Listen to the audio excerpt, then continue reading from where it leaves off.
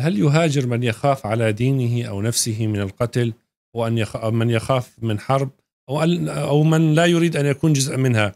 كما حصل معنا إذا صح التشبيه. نعم إذا خشي الإنسان على نفسه قتلا أو قهرا أو تعذيبا أو فتنة في دينه هاجر من بلده. بل أقول الهجرة واجبة في حقه. أخي عبد الرحمن هناك الهجرة الدائمة التي ينبغي ألا تنقطع. وهناك الهجرة ال ال ال القائمة بسبب. الهجرة الدائمة التي ينبغي ألا تنقطع هي الهجرة إلى الله وإلى رسول الله سبحانه وإلى رسول الله صلى الله عليه وسلم. الهجرة إلى الله وإلى رسول الله بالطاعة الكاملة وعدم المعصية. نعم. قال قال النبي صلى الله عليه وسلم فمن كانت هجرته إلى الله ورسوله فهجرته إلى الله ورسوله.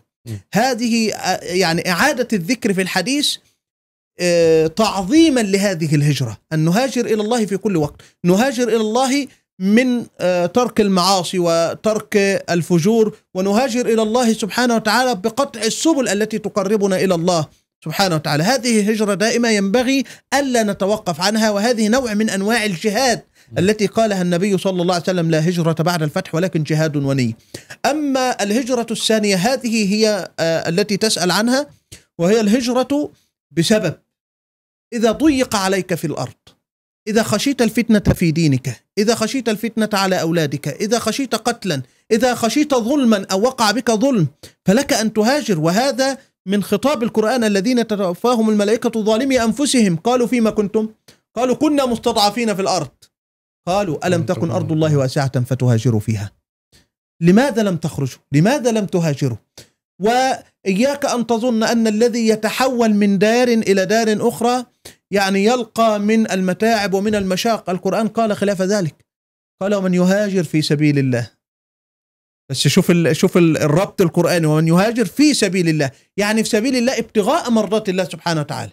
إذا كنت تقوم على عمل حلال فهو في مرضات الله. إذا كنت تريد أن تنجو بنفسك من الموت ومن الهلاك فهو في سبيل الله. إذا كنت تخرج خوفا على دينك فهذا في سبيل الله. ومن يهاجر في سبيل الله يجد في الأرض مراغما كثيرا وسعة. تحولات إلى الأفضل. يجد هناك التحولات إلى الأحسن. ولكن أولئك الذين مكثوا في دارهم وفتنوا في دينهم أو آه، يعني آه، أصابهم الأذى والظلم والجور هؤلاء استحقوا هذه ال ال ال ال الأمر من الملائكة أن تعاتبهم الملائكة ألم تكن أرض الله واسعة فتهاجروا فيها. في, في نفس السؤال هل يتعارض هذا مع الدفاع؟ قد يقول قائل الأفضل أن تبقى وتدافع أفضل من أن تخرج الأفضل أن تبقى وتظلم وتصبر على الظلم ما هو رأيك طيب الهجرة في حد ذاتها ليست امرا سهلا نعم. وأن الذي يريد أن يخرج أو يريد أن يهاجر هذا لا يخرج إلا إذا يعني آه تقطعت به السبل. استيأس. نعم. نعم. هذا النبي صلى الله عليه وسلم تقطعت به السبل الدعوة في مكة.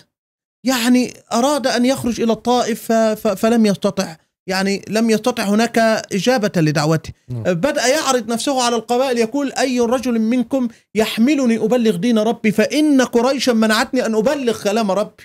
يعني هذا الذي حصل بالضبط مع النبي صلى الله عليه وسلم كمثال هو يحدث لبعض إخواننا في كثير من البلدان. كلمة الحق. كلمة لا الحق لا يستطيع أن يقولها لا يستطيع أن يقوم بأدائها لا نعم. يستطيع أن يقي نفسه الفتن لا يستطيع أن يبعد عن الفتنة في دينه أو في حياته.